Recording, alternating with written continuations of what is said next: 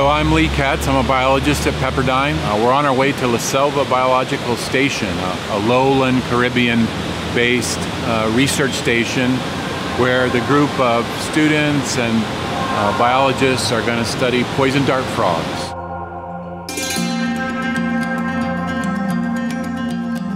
We're all researchers based in California, and so what we're coming here to do is research the field dynamics of poison dart frogs. So in a lot of environments, there's very limited resources, which limits the amount of biodiversity. But in Costa Rica, there's a ton of vegetation and a ton of rainfall, which allows life to really grow. So we've worked for months on coming up with a project plan, and an outline, but as soon as you get here, things start coming into perspective. You don't really account for some of the stuff that you see once you get here. So last night we went over our main project ideas, each steps that we're doing, and addressed some of the questions that have emerged since coming to Costa Rica. It's kind of a primitive place where we're going, but it has some of the most sophisticated scientific equipment anywhere in the world. They'll have towers of instruments that go 50, 60, 70 feet into the sky, monitoring temperature, humidity, climate every step of the way. So we, we know everything about uh, climate change in, in Costa Rica because of what's being done at La Selva. And just very quickly, what they discovered is that tree growth had basically stopped at La Selva because of temperature warming. So let me just tell you a little bit about how that plays out. Trees stop growing, they decrease the amount of production they can put into leaves leaf litter begins to decrease.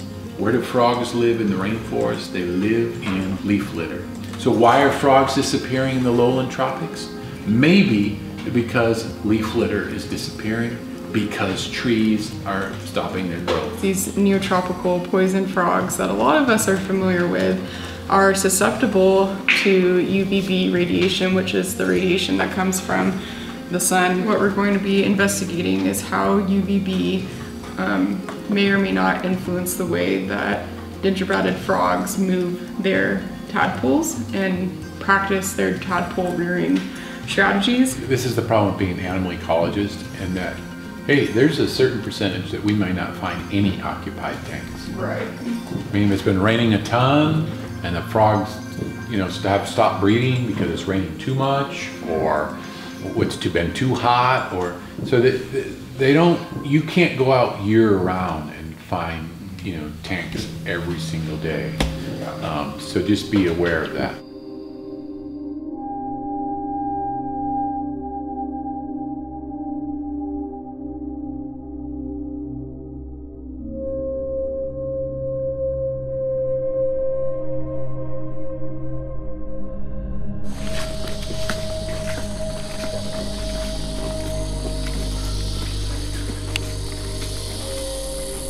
We're out on our first expedition of the day and we are looking for bromeliads, which are basically these plants that grow on top of trees and logs and other things. And the dart frogs lay their tadpoles in them. So right now we're checking for presence or absence of the Pumilio, the dart frog tadpoles. I just don't think these tanks have enough water, let water. But there's a ton right here that right. fell. Right, and a ton, a ton calling yeah. in here. Right in this area. Yeah. I'm wondering if they're trying to figure it out too. I'm worried that I'm like missing them. I can't see them. Yeah, there's not a lot of anything going on here. It is completely dry.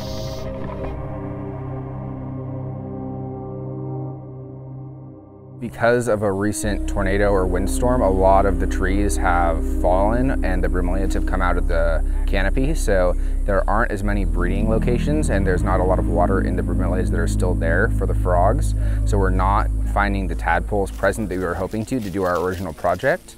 And because of this windstorm, we have a nice opportunity to study the effects of a natural incident and collect data on how these fallen trees are affecting Pumilio calling.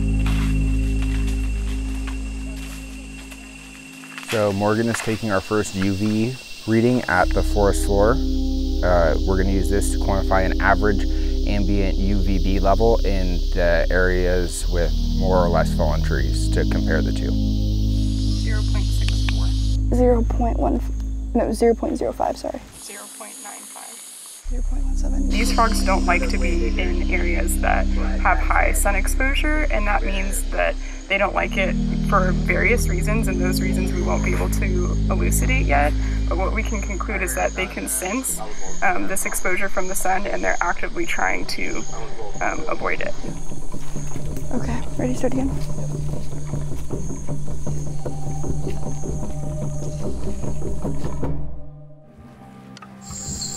Okay, so we're about to enter Cantarana, the most well-known frog swamp here, and you'll hear all kinds of species. So we're about to see a bunch of frogs. And there's always snake predators on the frogs. We've already had our fer de lance warning. It was a very thin young one, very hard to see. Young snakes are much more likely to strike than older snakes because they have a whole lot to lose. So Gary mentioned that just feeling the vibrations of people walking up to it caused it to coil and strike. Look for snakes along sidewalks, along tree logs. Snakes are notorious for crawling, crawling, crawling, bumping into something, and then crawling parallel to it.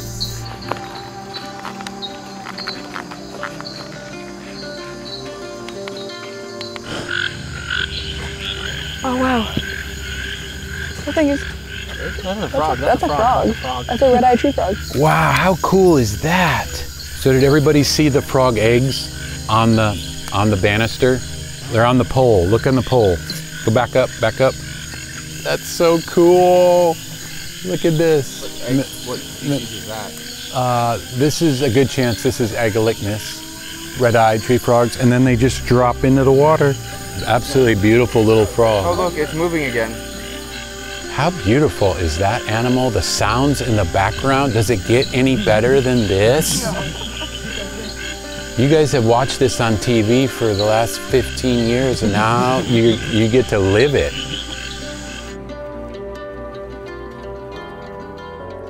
Frogs are more active in the morning, so we'll see if we can find any more strawberry dart frogs and see if we can find any more trends in the data.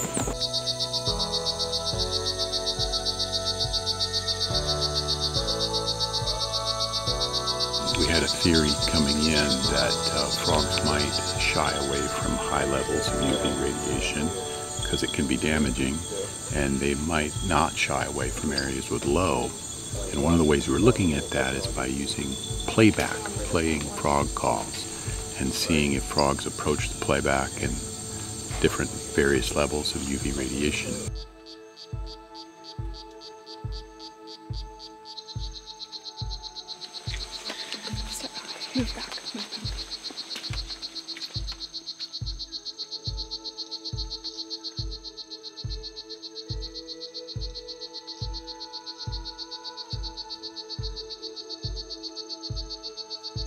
It turns out there may be something going on about what's going on on a different trail that has far more clearings than this trail versus a trail like this that's called primary forest where it's dark, not many trees have been cut down or removed. Uh, and so science, we're always kind of morphing our hypotheses and we're making new observations all the time.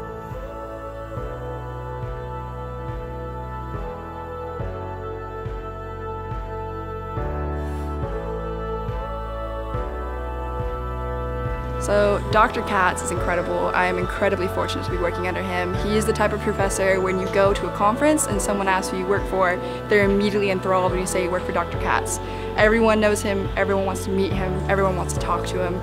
He's an incredibly well-known biologist. He's published an amazing amount of papers. He's worked for insane journals that are super well-known, super popular, really important and very prestigious. He's extremely, extremely intelligent in what he does and his work with the amphibians, especially in Costa Rica and California, is amazing.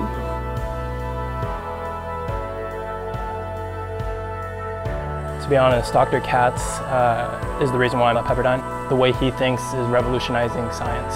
Science is such a closed-off community with all of its jargon, but with Dr. Kats you learn that it's not important that we tell other scientists, but it's important that the rest of the world knows.